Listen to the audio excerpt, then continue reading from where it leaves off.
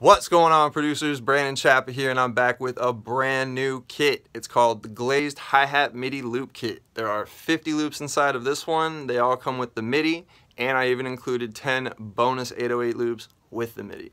So let's hop on the computer real quick so I can show you what's inside the kit and then I'm going to cook up with the kit so I can show you how I use the loops inside. So let's go.